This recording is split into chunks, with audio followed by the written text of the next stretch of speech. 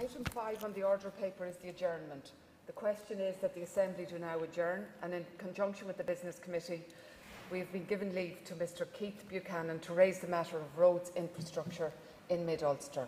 The proposer of the topic will have 15 minutes. As this is Keith Buchanan's first opportunity to speak as a private member, I would remind the House that it is the convention that a maiden speech is made without interruption. I call Keith Buchanan. Thank you, uh, Madam Deputy Speaker. I appreciate the opportunity to address the House on uh, my first uh, opportunity. And uh, it's been a great pleasure to be elected in Mid-Ulster, and uh, to the shock of some, I might add, but a great pleasure for me, and I'll go straight into this uh, debate. So a welcome opportunity to highlight the road infrastructure in my constituency and the need for additional resources to maintain and upgrade the network.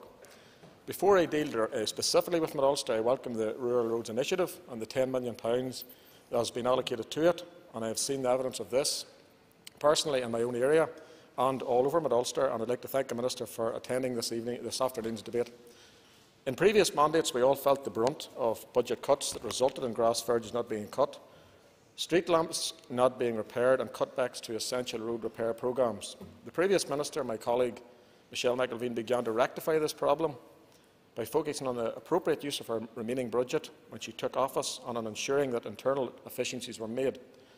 She reviewed her department's budget lines and areas of ex uh, expenditure to ensure that as much money as possible was available for high priority activities such as patching and street lighting maintenance. She also announced that from the beginning of January 2016 an additional £3.2 million of resource funding and £2 million of, uh, of capital funding was reprioritised for essential maintenance activities. This was good news to everyone and it helped the local economy and I hope that the current Minister will continue to improve the infrastructure. Every week I receive complaints and inquiries from constituents about defects, grass cutting and general road maintenance. Our rural roads are essential links for our farmers, rural dwellers and those going to work or delivering their produce to market or buyers. They have a fundamental role to play in Northern Ireland's economy and it is only right that specific attention is paid to maintaining them. We must remember that a properly maintained road network helps to reduce potential fatalities or serious injuries on our roads. According to a report by PSNI Statistics Branch for 2015, the Mid-Ulster Police area sadly accounted for the highest number of collision fatalities, with a total of nine killed in the district and a further 44 seriously injured. While I am not saying that poor roads maintenance was a factor in any of these sad fatalities, we must ensure that our roads are to the highest possible standards. Most road traffic collisions and fatalities happen on rural roads, and of the 74 total road deaths in 2015, 57%, 42 occurred on rural roads. Rural dwellings, dwellers do not have the same access to public transport. In Mid-Ulster we have no railway services and buses do not serve many of our rural communities, at least not on a consistent enough basis. Access to those services can be a big challenge and it is vital that these communities have a properly maintained road infrastructure. Sadly, the road infrastructure of Mid-Ulster has seen the lowest capital investment in the Western Division in the last 10 financial years. The rural road network in Mid-Ulster has had some improvements over recent time, the new Magherafelt bypass, due to open, I believe, on Thursday of this week, is a six-kilometre carriageway linking Castledawson roundabout with the Moneymore Road, is expected to carry 14,000 vehicles per day and thereby reduce traffic congestion in Magherafelt town centre. This significant investment will help improve road safety, reduce congestion and improve journey times. The new road is welcome news, especially for those who use this route daily, and the DUP team of local councillors and myself have welcomed this improvement but are also committed to highlighting the need for further improvements to the road network. I welcome the need for the much-needed Cookstown bypass, as this would help reduce journey travel times along the busy north to south, south Coleraine to Keady A29 corridor. Unfortunately, sometimes it is quicker to travel between Dungannon and Belfast, a distance of 42 miles, rather than travelling the 20 miles between Dungannon and Magherafelt. The removal of the traffic the removal of the thorough traffic from the town centre would assist in reducing the conflict between strategic and local traffic by approximately 10 minutes, therefore assisting in the reduction of both congestion and the risk of accidents. These benefits would be expected to improve the quality of life for residents and attract more visitors and shoppers to the historic town of Cookstown, improving our local economy. This project should be part of an overall strategy to improve the key transport and link corridors across Northern Ireland and would demonstrate the need to rectify regional disparity and reverse decades of underinvestment in infrastructure west of the Bann. Sadly, the former Cookstown District Council area was consist consistently in the lowest area of capital investment in the last 10 years. The vital A29 Cookstown Bypass project would help the re uh, region significantly, not only from a strategic perspective and at a local level, but also by providing vital jobs in the local construction industry. It had been hoped that this would be delivered within the period of between 2013 and 2018. I welcome the Minister's earlier comments and look forward to this project being developed. 40% of world manufacturing wet material handling, e.g. stone crushing equipment, block making equipment, is sourced within and manufactured in Mid-Ulster. And for us to remain world-class providers and employers, the road infrastructure needs to be up to world-class standard. Our rural roads network needs to be able to cope with the HGV vehicles that are needed in this industry. A never-expanding agri-food industry within Mid-Ulster, for example, Karro Foods is the biggest uh, pork slaughter facility in the United Kingdom.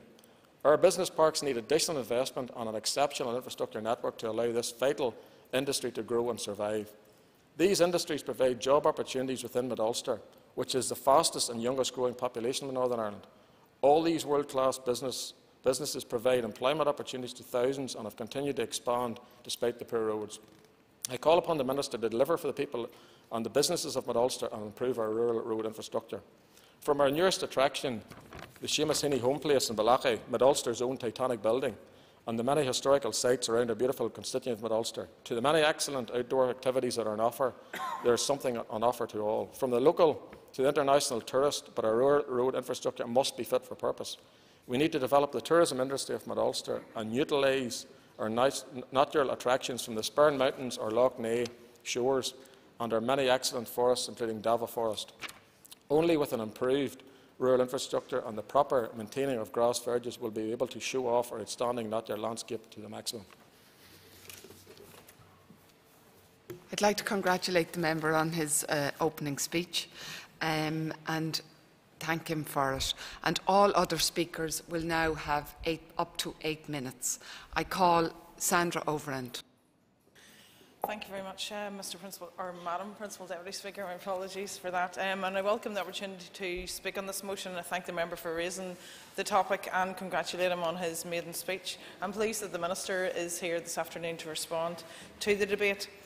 Indeed, Mid-Ulster is a hub of uh, manufacturing and engineering industry in Northern Ireland. Uh, indeed, recent figures have said that 27% of all people that are employed in Mid-Ulster are within the manufacturing base. And so it's important that the appropriate roads infrastructure is in place to allow our businesses to transport large and heavy products and machinery to customers across Northern Ireland, to the Republic of Ireland and to the ports with ease in order to develop and grow vital exports and, and the export markets. At present, this is problematic, and I have even heard of goods being transported right across the constituency of Mid-Ulster and towards the ports um, of Warrenpoint because of heavy problems, heavy load problems uh, on the motorways. Um, this was a surprise to hear, and I certainly think that that's an issue that uh, the Minister and his officials should continue to look into. You know, it had been raised um, uh, last year at some stage. Many of our local businesses are also big players on the European and global stage, so we'll very much welcome improvements in this area. And indeed, roads infrastructure pro pro projects provide employment to many of the construction sector businesses within my constituency. And so a strategic plan is very much welcome for employment purposes. Can I at this stage just welcome the completion of the Magherafelt bypass um, to be officially opened this Thursday, I believe.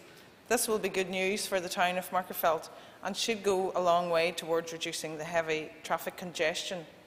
The improved road safety, speedier journey times and reduced congestion should all bring benefits for the people of Magherafelt and the surrounding area. It was fitting that it was an Ulster Unionist Roads Minister who delivered on this project and indeed cut the first sod and I want to once again commend my colleague Danny Kennedy, MLA, for that. As his Assembly Private Secretary at that time, it was a privilege to be part of that historic first step. The impending progression of the A6 project is also welcome, stretching from the end of the M22 to the Castledawson roundabout and on toward Londonderry. The A6 is a key transport route for Mid Ulster and beyond. Again, this has been something that I've been calling for long before I was even an elected representative. And I know that the former Roads Minister, Danny Kennedy, had progressed that project as far as he could without the capital funds being made available to it. So it is pleasing to see that that work is now coming to fruition. I have worked with a number of landowners, farming businesses and officials with regard to this scheme to ensure that those who have concerns regarding the project have those concerns addressed. It is important that the Minister and his officials work to resolve these outstanding issues so that no one is disproportionately or adversely affected by this project, and indeed any future infrastructure projects in Mid-Ulster. Looking to the future, there is much that can and should be done to improve roads infrastructure in Mid-Ulster.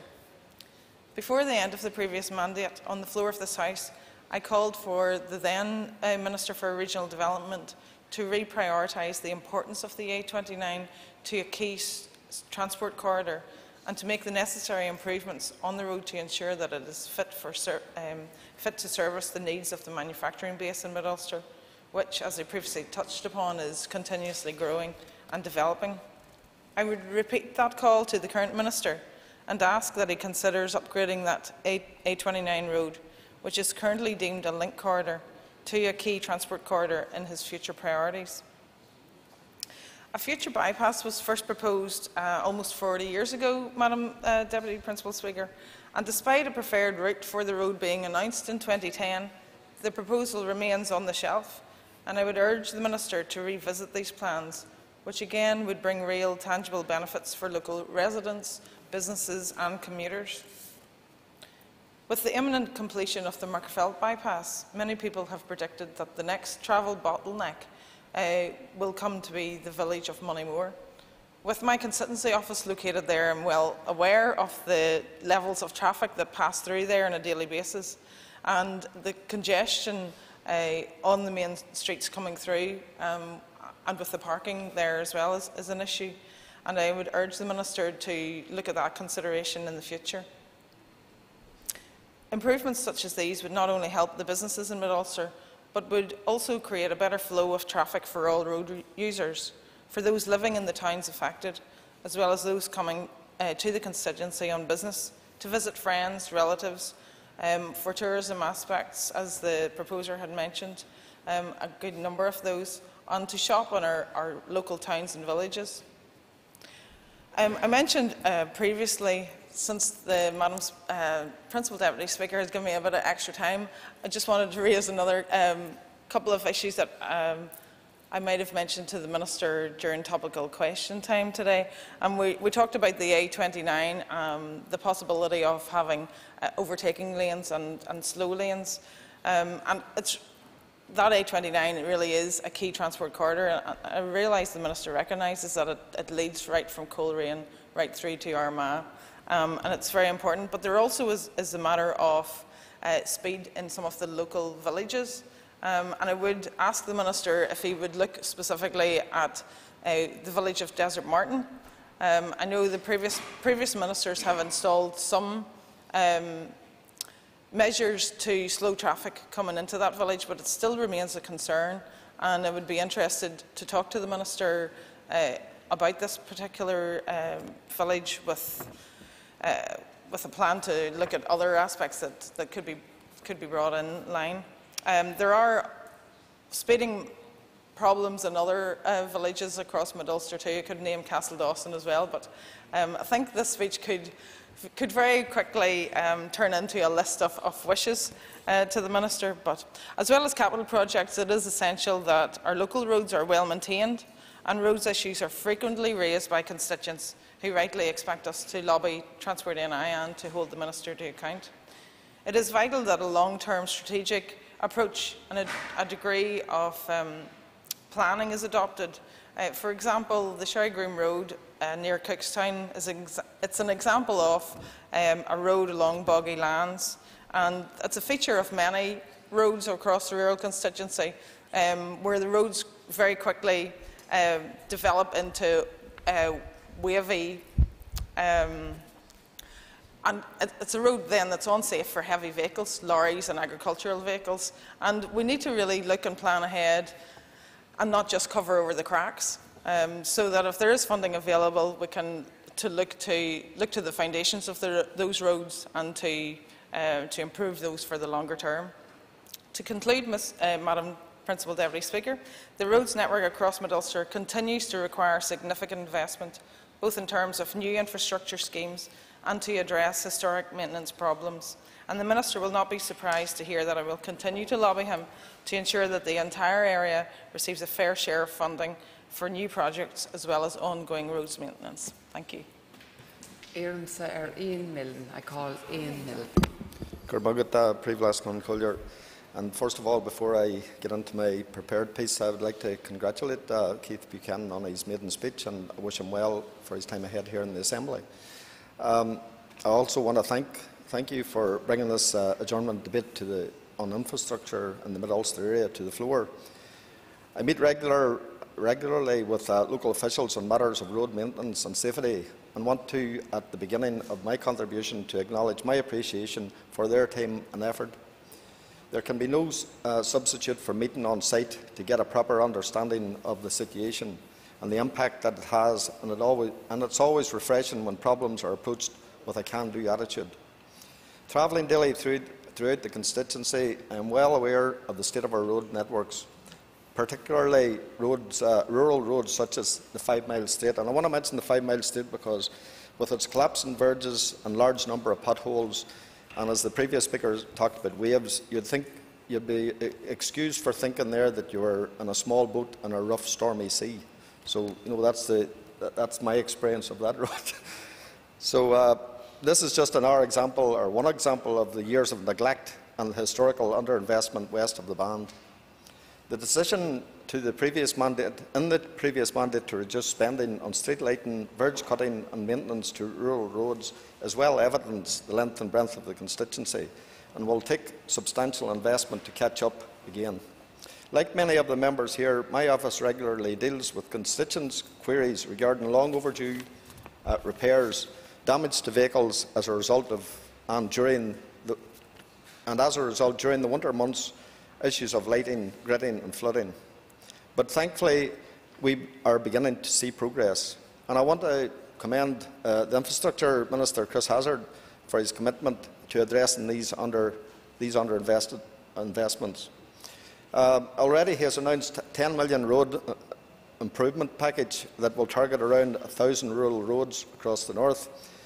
We have also had confirmation that he will invest 18.8 million on roads schemes in the Mid-Ulster Council area, and this is all to be very welcomed.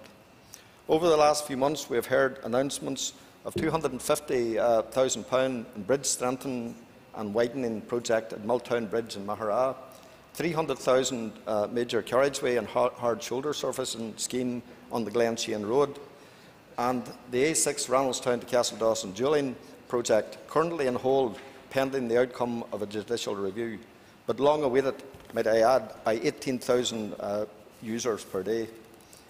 Uh, and the A31 Magherafelt bypass scheme, which will open on Thursday.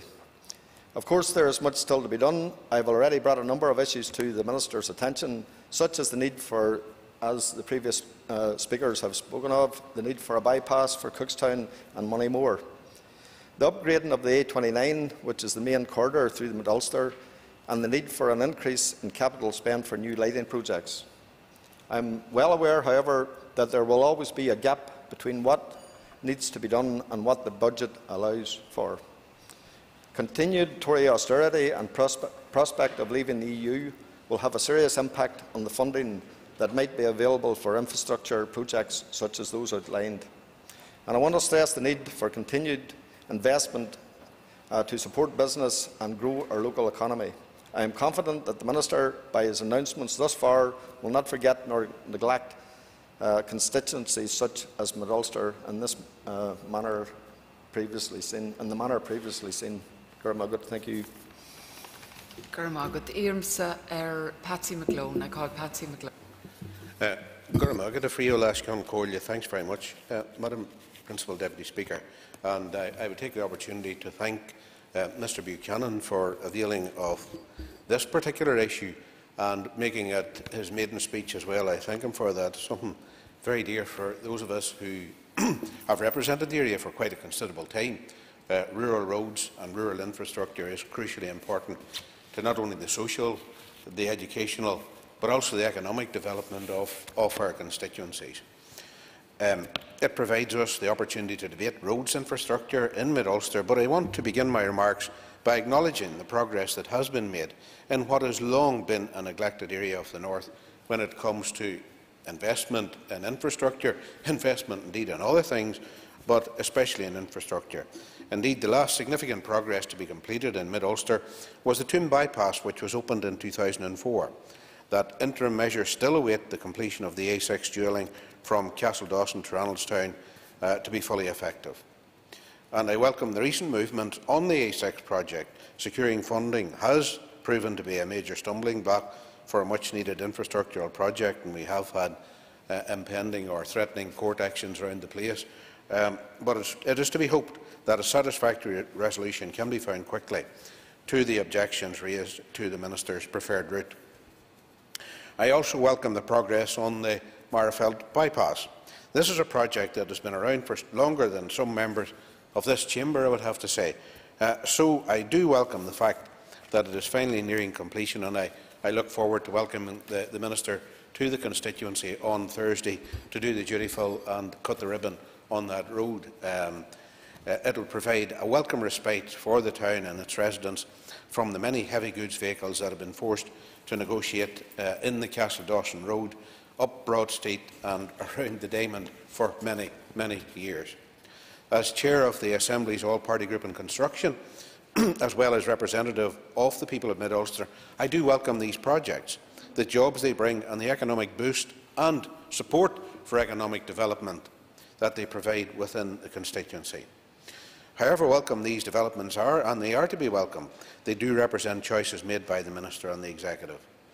So while the Executive prioritises high-profile schemes like the A6 and A5, another major town, and has been referred to in the constituency, Cookstown, and I was on the Cookstown Council from uh, 1993 to 2006, and the bypass came up year after year after year after year. So if the Minister could see fit to doing something about that, but Mrs Overend has rightly referred to, to something that will occur now, and that is that the traffic, as a consequence of good progress and welcome progress via the Magherafelt bypass, will now move that much quicker to Moneymore and create a very substantial bottleneck in Moneymore, which is already quite pressurised with traffic at particular times of the day. But this will inevitably uh, continue. So I don't know what sort of measures can be taken or if the, the uh, engineers within uh, the department have been projecting ahead and looking at this to see how best they can make sure that in alleviating one problem, that another problem isn't bunged into Moneymore. It's inevitably, I suppose it's, it's more work and we, work that we would like to see done. So that's just, I'm just flagging that up for the Minister's attention if he isn't already aware of it. Um, the project in Cookstown, it has been around for almost as long as the Magherafelt bypass and is, and indeed, indeed for anybody who have an office in Cookstown, I'm in Cookstown frequently, and for anybody who watches the traffic as it uses uh, the unofficial bypass around Cookstown, the Westland Road, and how that can be really chock-a-block at most times of the day, but particularly in the morning and later on uh, around about 5, 6 o'clock, it is incredible. And it makes the case for a decent bypass like Magherafelt has. So it has, has, after many years in gestation, been parked indefinitely. So I welcome the progress where it has been made, and we do need to ask again as to help with that economic, social and development within the constituency to make sure that we have that proper roads network. Um, it has um, it has become a standard now that when criticised for what are political decisions, ministers complain of cuts to their budgets or cuts to the block grant. But it is the responsibility of the Executive to make the case for sufficient funding to the Treasury, and it is the responsibility of individual ministers to make the case for sufficient funds to the Executive. It has been rumoured that there is likely to be some sort of infrastructural funding announced via Westminster, so I do hope if that comes, Minister, that you will be pitching hard for that to happen and for a good slice of that action to come to the North and every confidence in your, your ability to do so. Um, That's what it is to be in government, and for our part, the SDLP has repeatedly proposed alternative sources of funding for necessary investment in infrastructure. We have done so in the past and we will do so again. That said, matters inevitably, and I'm sure the Minister has done a scoping exercise within his own department, those matters will become more complicated if the Executive allows Northern Ireland to be dragged out of the EU against the overwhelming majority of the people of the North. I believe the Minister himself quoted a figure to this Assembly last month of a loss of funding for infrastructure of some 300 to 400 million in the event of a Brexit. It won't be enough for the Minister or his party to throw up their hands in outrage if that loss of funding is allowed to materialise. It is the Executive's responsibility to prevent and hopefully argue the case as I've outlined. It's a challenge for the, the Executive to argue the case for the North uh, to the Exchequer in Westminster. Finally, to return to the subject, this Assembly debated recently on an SDLP motion. The road structural maintenance budget, often neglected, but more important in many ways than the headline-grabbing high-profile schemes. Maintenance of the road network in a rural constituency like Mid-Ulster is vital to the rural communities and that rural economy. I'll not repeat the arguments this chamber heard during that debate, but I'm sure all members who represent and indeed live in those rural communities will realise that on occasion you simply can't go anywhere. One pothole can trigger off a whole series of emails from constituents who have to live on that road. And they too have an entitlement to a decent roads surface and network in their own areas, particularly in areas such as our own where there are pretty densely populated rural areas. But I will point out that the problems created not by addressing the road maintenance budget deficit and the absence of sufficient funding on a yearly basis simply to adequately maintain the existing road network are most particularly experienced in rural constituencies like Mid-Ulster. The rural road network has been starved of investment over a long, long, long time. I'm not for a second going to lump this at the door of the Minister. Um, it has been historic uh, discrimination in some cases previously in the past and neglect subsequently of our rural areas. And I do know that the Minister has allocated some funding for the repair of rural roads uh, this year, um, but um, the amount, and it was 10 million, I think, maybe that Mr Milne referred to, um, it has been estimated from speaking to engineers that 130 million would be required to bring that rural roads network at least up to some sort of reasonable standard. Over the past year, the number of claims made by drivers for damage caused by, caused by potholes on road, his remarks roads has been more than double. So um, I'll, I'll conclude on that, and I thank the, the member for bringing the motion before the chamber. Thank you. Irimsa er Antara, Antara Infrastructure. I call Chris Hazzard, Minister of Infrastructure. And, and can I take this opportunity to thank the member for bringing the motion to the House and wish him well in his time uh, as a member uh, and also to welcome the opportunity to speak on this issue and its uh, importance to the, the people of Mid Ulster. As a Minister for Infrastructure, I, along with my executive colleagues, work hard to support and drive economic recovery across all parts of the North, and I am particularly keen to redress the infrastructure deficit west of the Bann. This motion rightly highlights the importance of transport infrastructure, which, in the North, is very much road-orientated, be it bus-based public transport, freight, commuting, leisure travel or cycling. My department is taking forward a balanced programme of improvements to the strategic road network that will make a significant difference to all communities in the North and greatly benefit the wider economy. Recent levels of funding have allowed my department to advance a number of schemes through the various development stages to construction, including a number of schemes in the Mid-Ulster area. I am delighted to say that the construction of the £35 million A31 Magherafelt bypass is now substantially complete. The scheme comprises approximately 6 kilometres of a 2 plus 1 carriageway to facilitate overtaking and single carriageway extending from the A31 Moneymore Road to the Castledawson roundabout on the A6. And indeed, I am looking forward to officially opening the scheme later this week. The A6 Derry to Belfast corridor is also of strategic economic importance, providing an essential road link between the Belfast metropolitan area and the North West. My department is currently progressing two separate projects on the A6 route to improve connectivity the Derry to Dungiven and Randalstown to Castledawson during schemes, the latter of which, of course, being in the Mid Ulster area. The Randalstown to Castledawson scheme comprises two distinct sections of dual carriageway located either side of the A6 Toome bypass. A 7.3 km section from the end of the M22 to the eastern end of the Toome bypass and a 7.4 kilometre section from the western end of the Toome Pass to the existing A6 Castledawson roundabout, so linking to the new Magherafelt bypass. In August, I was delighted to announce my decision to proceed with the substantial £160 million scheme. However, on the 27th September 2016, papers were lodged with the High Court to apply for leave for judicial review in relation to this project. While I am disappointed that a scheme set to benefit some 18,000 daily commuters and their passengers every day has been challenged, with any project of this scale, there is always the possibilities of a legal challenge from those who may be dissatisfied with my department's proposals. At this time, it is too early to determine the impact and progression of the scheme and any knock-on delay to the commencement of construction, which had been anticipated to be later this month. The, prefer the preferred route for the A29 Cookstown bypass was announced in 2010.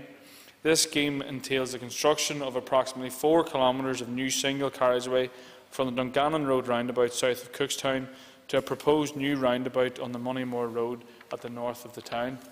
The scheme will also include sections of 2 plus 1 and differential acceleration lanes to facilitate safe overtaking opportunities. Development of this significant project had been deferred owing to financial constraints, but as Minister, I am keen my department progresses the scheme. I am currently engaging with officials about progression to the next stage, the publication of the draft statutory orders and environmental statement.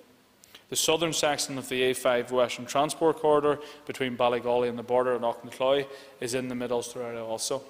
Following the public consultation of the new draft statutory orders and environmental statement, a public inquiry into the A5 scheme was announced and this remains on schedule to open on the 4th of October 2016.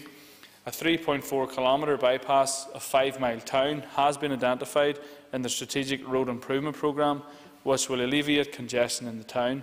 Progression of this scheme too is subject to future budget settlements. The upcoming revision of the Regional Strategic Transportation Network Transportation Plan and the development of local transport plans in conjunction with Council's local development plans provide a good opportunity to refresh the Strategic Roads Improvement Programme in line with the latest technical evidence, local development pressures and the programme for government priorities of economic growth and social equality. This may provide my department with an opportunity to relook at scheme prioritisation and indeed at new schemes also. Up until now, I have spoken about new and proposed schemes. and now I want to turn to maintenance of the existing network. Maintaining our roads and footways is essential to the social and economic well-being of the North and continues to be one of my department's highest priorities. I am pleased to say that the additional capital funding was prioritised by the Executive for road maintenance as a part of June monitoring.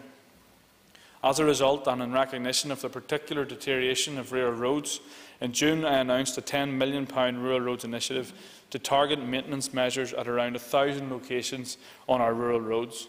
I am pleased to say work on these schemes is now well underway and about one-third of the identified roads have been dealt with. The current structural maintenance budget for the Mid-Ulster Council area is some £8 million, and this includes approximately £1.5 million which has been allocated as part of the Rural Roads Initiative. This will see a significant number of smaller schemes delivered on the local road network across the council area. In addition, within the Mid-Ulster District Council area, my department has delivered an extensive resurfacing programme, including schemes on the A6 Glenshane Road, the A4 Ballard Road Clogher and A29 Northland Road on Dungannon, as well as surface dressing 1.1 million square metres of road across the area. Members will be aware that the Department continues to face budgetary pressures on resource funding for the day-to-day -day road maintenance services. Thankfully, an additional £5 million was allocated as part of June monitoring to enhance road maintenance activities such as pothole repairs and grass cutting. I now want to briefly provide a more strategic overview of how my previous comments extend into the bigger picture. Members will be aware departments have been working on the delivery plans associated with the programme for government, and my department is no exception. A key programme for government indicator that I am leading on is to improve transport connections for people, goods and services. Over the summer, my officials have engaged with my other departments and a wide range of representatives from all sectors to develop an action plan to help deliver this indicator. The delivery plan contains my initiatives for a generational programme of investment and change over a number of budgetary periods.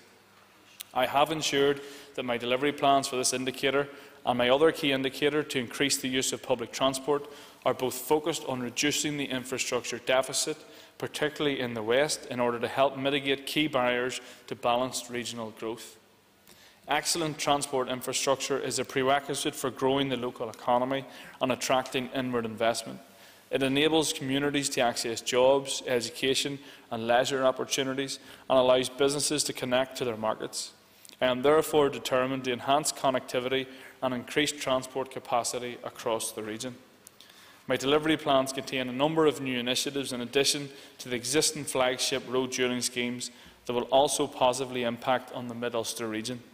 These include looking at the potential for more freestanding bypasses of towns to address pinch points on the roads network, and in addition, work is ongoing to carry out feasibility studies on improvements to the A29 Dungannon to Cookstown Road and the potential to extend the rail network to Dungannon. Of course, all of this activity depends on the appropriate resources being made available. My department has a capital budget of some £387 million, the largest of all the departments.